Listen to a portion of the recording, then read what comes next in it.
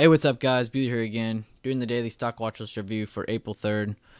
And today I put SPY, Apple, AMD, Amazon, BA, Beyond, Facebook, Netflix, Nvidia, and Tesla. I did a 10 stock watch list again, uh, just like Wednesday. I'm gonna try and do at least eight to 10, or at least six to 10 every every day now. Uh, a little more fun doing the list, as well as I will be live streaming um, Monday, Tuesday, Thursday, Friday of every day starting next week. Um, going over my watch list, watching me make it, all kinds of stuff. So tune into that.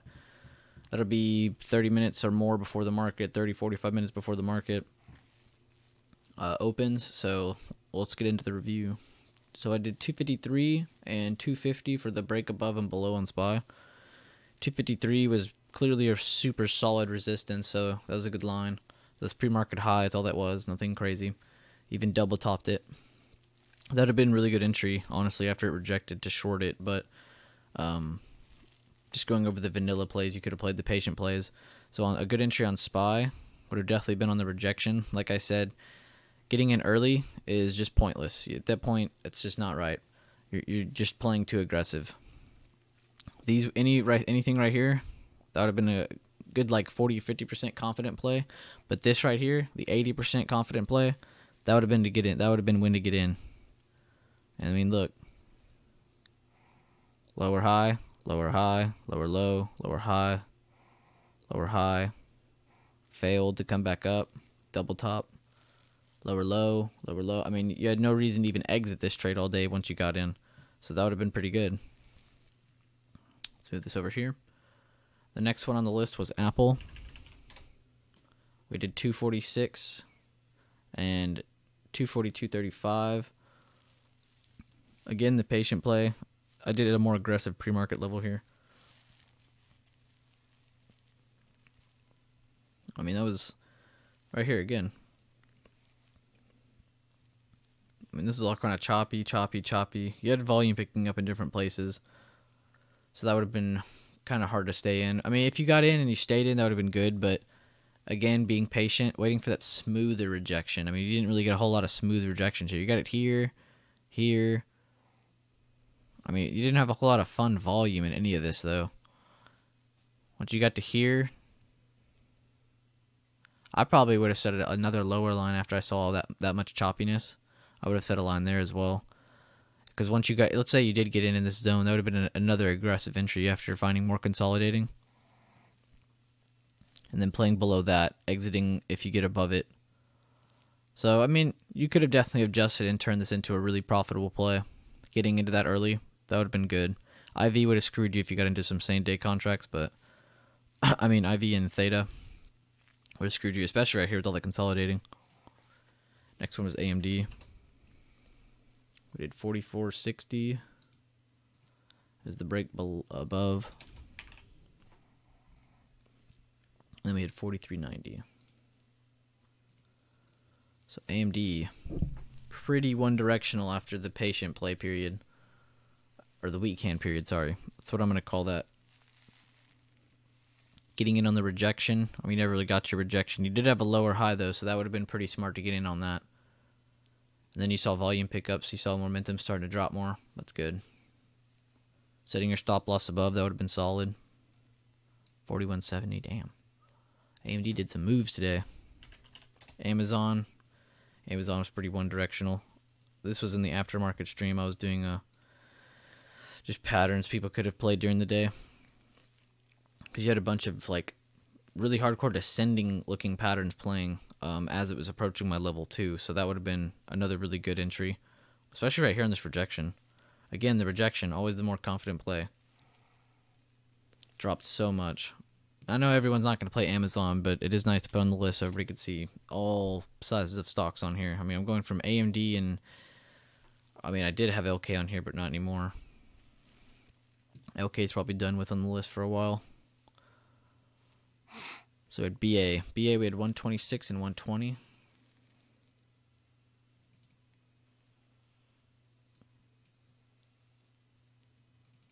So BA, probably better not to play it at all today, honestly. I've been trying to stay away from BA, uh, especially on Fridays. Break above, you definitely could have played, especially towards the end of the day. That would, damn, look at volume. Volume was kind of non-existent till about right here. So that would have been the patient play of the day on BA. Any other one? I mean, you easily could have played this again, but let's just just don't trade here. Don't trade. You don't need. You don't have to be in a trade at all times. You don't have to be in a trade. But as soon as market opens, just wait.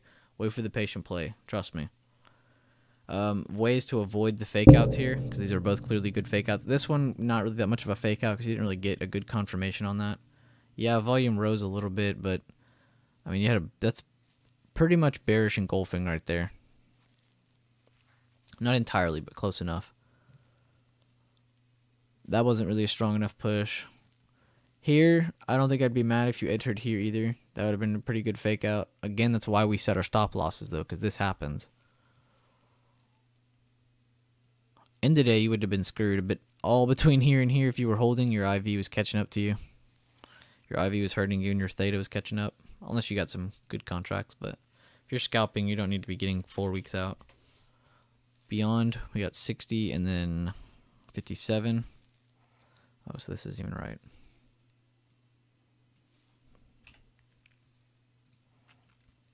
Beyond pretty much range traded between my levels today. I set some passive levels because there was there's bound to be another one of these U days. I keep seeing this. This happens a lot on this one. You just get those weird days where it, it does a lot of things and it comes right back to square one. The real drop was in extended hours and then Thursday. Nothing really happened a whole lot of the other days. Every other day was pretty boring for Beyond. So hopefully next week get some more excitement. This is the stock I wanted to go over really bad though. So I'm going to delete all this. Start from scratch. 159, 157. That was your break above, break below. Didn't have any chance to even get in for the break above, so no no worries there. Uh, not really a big fake out here. But what I did notice when I was doing the stream was people could have played this squeeze that popped up. You got all this, you got that. It's a bit of a slight symmetrical triangle. And the, just like in one of my videos, the double confirmation. This is one of the first time I've seen this, but today you got a triple confirmation. So I did this. Your first confirmation is breaking out of the squeeze, your symmetrical triangle.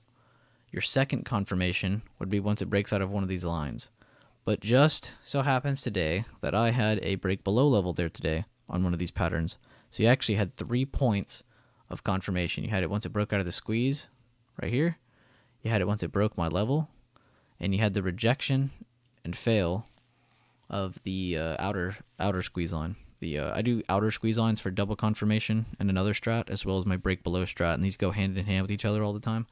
But I was telling the chat, this alright right here. If you enter, if you enter anywhere in the squeeze, you're bullshitting. You have no clue what's happening. You're a bullshitter. Do not enter here. That is too aggressive. You're entering early, and you you have no clue what the outcome is. This is all choppiness. Entering here after it broke, I would say that's probably 20% confidence.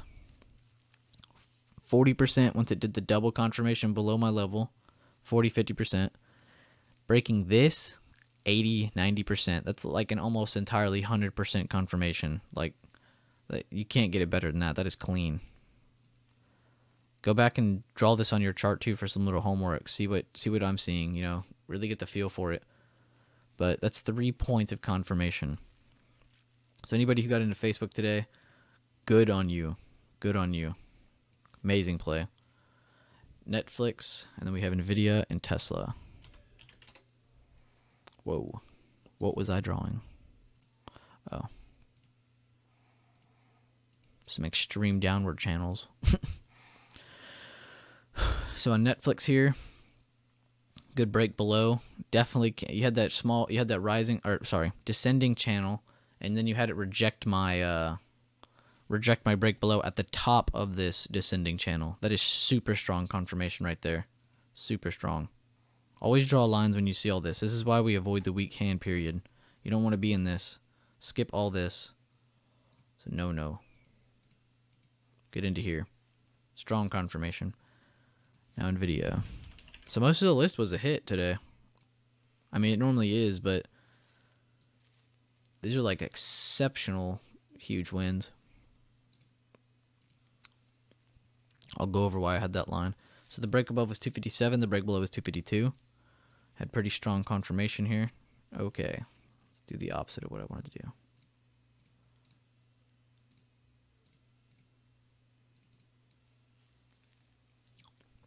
Strong confirmation again on the rejection. And I had that line there because in this indicator we're testing, it had one for yesterday's low, which let's just put it right here. It level. Right, whatever.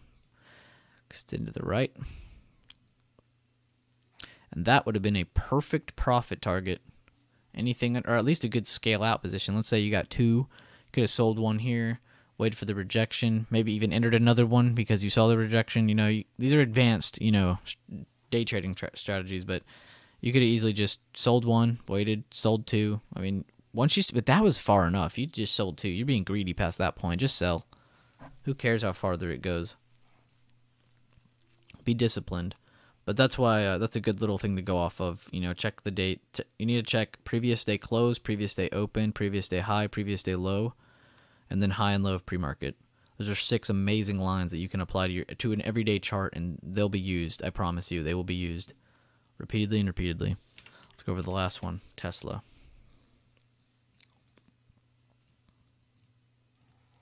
So the lines I set, break below, I won't even do the break above because it's way up there. 531 was the break above. Below, I did 515 with a target of 507. So when I put these, I mean if you actually get, you know, below this, you can and you you're already in. Use this as a profit target range, or a uh, foot of reference. If it's strongly pushing through this, it's probably going to keep going. So uh, always remember that. And then the below that is 500. I put below that is 500. So I set I even set the psychological support. So I got a psychological support. This is a historical support. This is a pre-market level. So this was this was entry. This was second possible entry. This was true profit target range. But if it breaks any of these, you can keep playing it. Don't don't think you can't. It's too late. And it's and it's not overextended. This isn't that big of a fall for Tesla. It, it can definitely go more. It can have a hundred dollar day if it wanted.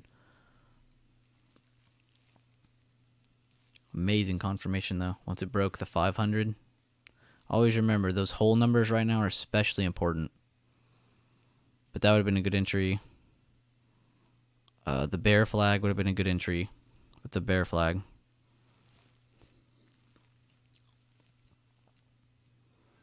And then the like a three bar play almost, but it's a lot more than three three uh, candles.